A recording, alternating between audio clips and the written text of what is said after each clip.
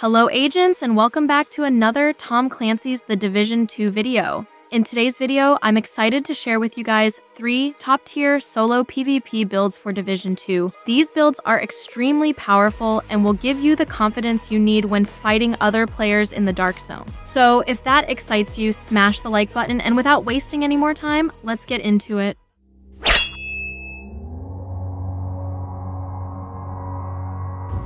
Okay guys, starting off with one of my personal favorites, the classic meta build. This build performs great in up-close PvP fights, mainly because of how much damage you can deal out while still having a ton of survivability. This is ideal for a solo player, giving you the advantage you need in the Dark Zone. Having the exotic Catharsis Mask equipped provides an additional amount of damage while aiding in survivability at the same time. This is thanks to its native talent, Vicious Cycle, which provides 1% weapon damage for every time you are hit, maxing at 30 stacks. Reaching max stacks will trigger a purge, healing you based on the amount of total armor you have while removing any status effect that was previously applied to you. So this exotic mask basically serves as a mini healer, which is great for the increased survivability. Having the Fenris vest, Picaro's holster, and Matador Walker Harris named backpack all contribute to the high damage that this build deals out.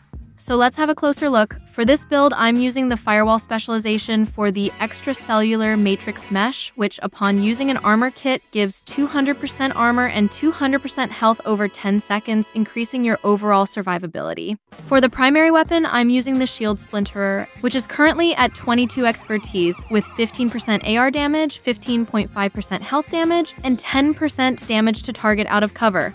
This weapon's talent is Perfect Optimist. Weapon damage is increased by 4% for every 10% ammo missing from the magazine. And for the secondary, you may use whatever you like, but I'm currently using the exotic SMG, the Ouroboros maxed out at 25 expertise, which gives a nice 25% weapon damage bonus, 13.6% SMG damage, 19% critical hit chance, and 9% damage to target out of cover. This weapon comes with the talent, Rule Them All. When you have a status effect applied to you, 50% of the ammo in your magazine will apply the same status effect to your target. However, this effect may only occur while in combat, a great way to counter your opponent in PvP. For the sidearm, I'm using the Orbit which comes with the native talent Perfect Finisher. Swapping from this weapon within 10 seconds of killing an enemy grants 35% critical hit chance and 40% critical hit damage for 15 seconds. The Catharsis Mask not only contributes to the massive damage that this build can do, but it also increases the survivability greatly with 20% incoming repairs, roughly 5,000 armor regen, and a maxed out 12% crit hit damage mod, the Talent Vicious Cycle grants 1% weapon damage per stack. Taking damage builds this stack, and the cap is 30. Taking damage at max stacks triggers a purge, removing all stacks and status effects while dropping a healing cloud which restores 5% of max armor for 10 seconds to all allies in the cloud. Next up, I'm currently rocking the Fenris chest piece with 12% crit hit damage, 6% crit hit chance, and a 12% crit hit damage mod. The Unbreakable talent gives this build an increased survivability. When your armor is depleted, repair 95% of your armor. However, this number is reduced to 50% in PvP. For the holster, we'll be using the Picaro's holster, which comes with 15% weapon damage and 12% crit hit damage with a max armor core attribute. For the backpack, I'm using the Matador backpack. This named high-end bag has 6% critical hit chance, 12% critical hit damage, and a 12% crit hit damage mod. With the talent Perfect Adrenaline Rush, whenever you are within 10 meters of an enemy, gain 23% bonus armor for 5 seconds. This stacks up to 3 times, giving you an incredible increase in survivability. Ceska gloves with max armor, 6% crit hit chance, and 12% crit hit damage. Grupo Sombra knee pads with max armor, crit hit chance, and crit hit damage. For the skills, the Defender drone and decoy work really well in PvP fights, but I'm currently running the EMP sticky bomb to stagger the enemy. For the stats, my primary AR is at 54% crit hit chance and 156 crit hit damage.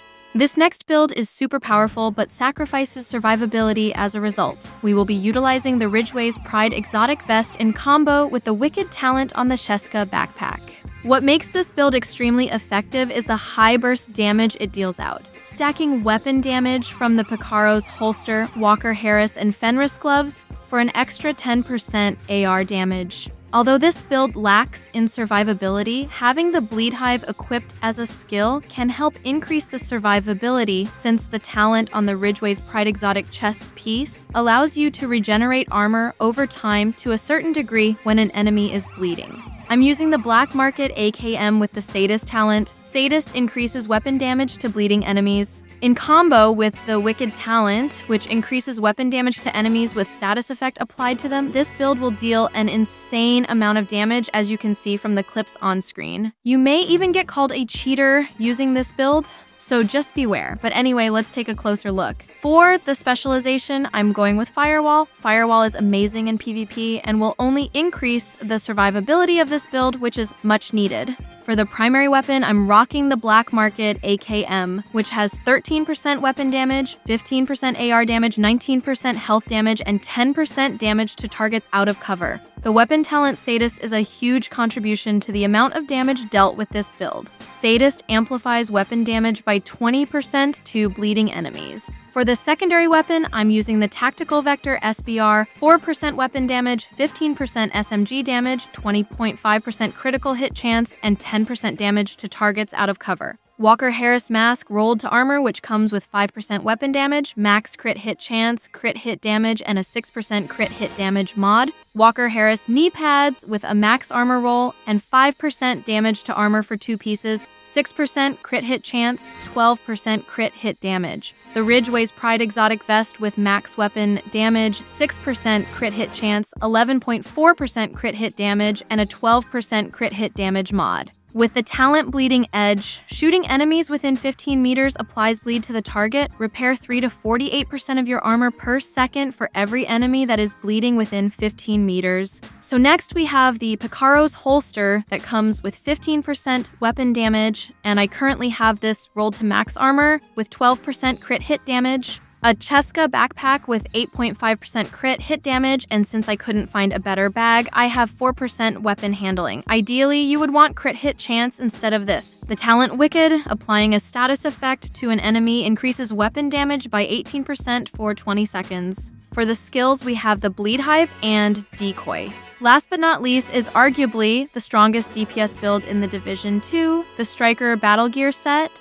This build is extremely powerful, and once you max your stacks, the amount of damage that you can deal out is incredible. This build works wonders with the Ouroboros Exotic Submachine Gun. Considering how much RPM is on this gun and the additional rate of fire that you unlock from having at least three pieces of Striker equipped makes this build a force to reckon with. Just look at how fast the players in this clip are melting. Utilizing the 4-piece Striker bonus grants the Striker gear set talent, Striker's Gamble, in combo with the Striker backpack, increasing total weapon damage gained per stack by 1%. And having one piece Sokolov grants you that extra 10% SMG damage, allowing you to deal out even more damage. So let's have a closer look. For the specialization, I'm using Firewall, and for the primary weapon, we'll be rocking the Ouroboros. For the secondary weapon, I'm using the Shield Splinterer, but you may use whatever you like. The main character of this build is the Ouroboros so you won't really need to use anything else. So we have the Striker Face Mask with maxed armor rolled, 11.1% critical hit damage, and 6% critical hit chance.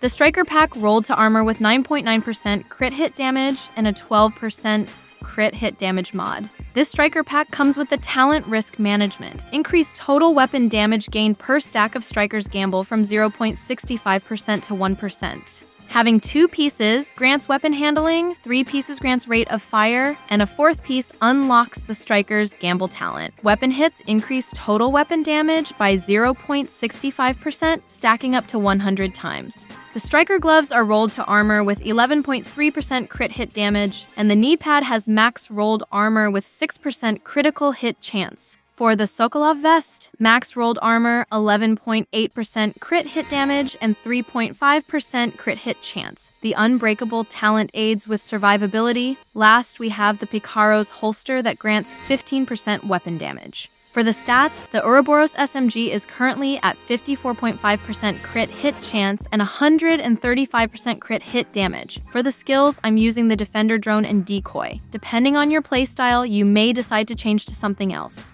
And there you have it, guys. With these three PvP builds in your arsenal, you should have no problem tackling the Dark Zone and fighting any players you encounter. This is Prajna, and if you have any questions, please leave them down in the comments section. Take care, agents, and I'll be seeing you in the next video. Later.